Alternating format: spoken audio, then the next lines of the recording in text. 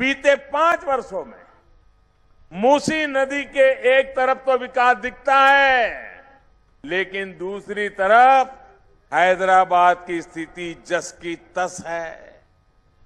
वहाँ न गलियाँ सुधरती हैं और न ही नालियाँ सुधरती।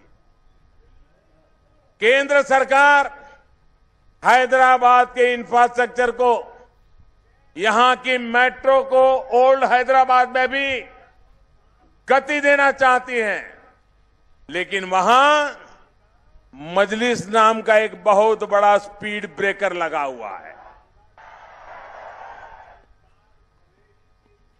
उनको विकास की भाषा समझ ही नहीं आती। वो तो दिन रात सोते, जागते, सिर्फ़ उनको मोदी याद रहता है। ये चौकीदार उनको रात को सोने नहीं देता है।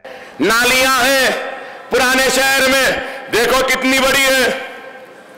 नालियाँ यहाँ है। आजा मोदी। ए, चाय वाले, आजा। चौकीदार, आजा तालाब कट्टे में बहुत नाले हैं चल लेके जाता हूँ पाइप ला ले लगा ले गैस निकाल चाय चाय चाय बनाना शुरू कर दे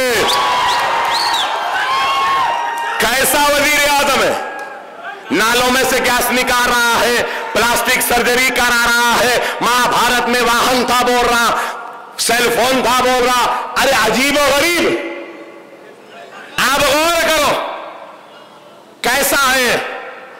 अरे हिंदुस्तान, इसको बोले या ना बोले, यह हैदर कलवार का शहर है। यहाँ पे गूँगे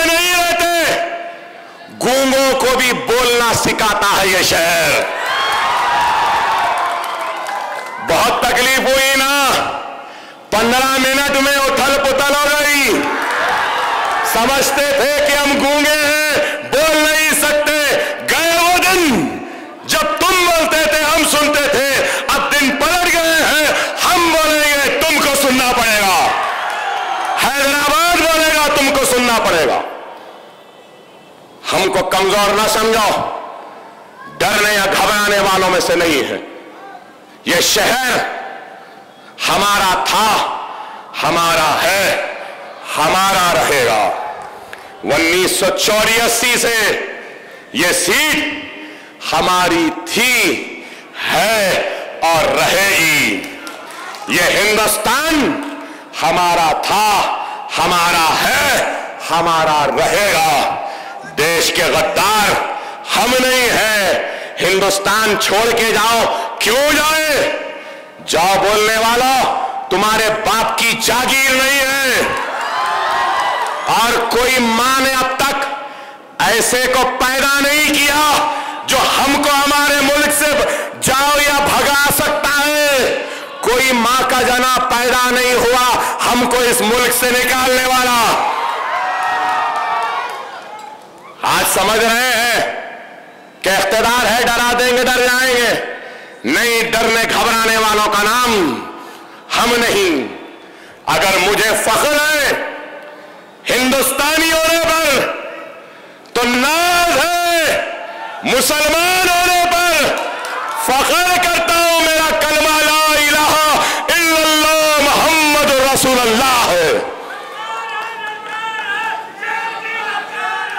हम डरने या घबराने वालों में से नहीं है। आपसे भी कहूँगा, डरने या घबराने की ज़रूरत नहीं है। एक मोदी क्या?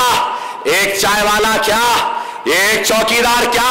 इस जैसे एक हज़ार भी आ जाए तो हमारा बाल भी बिंगा नहीं कर सकते।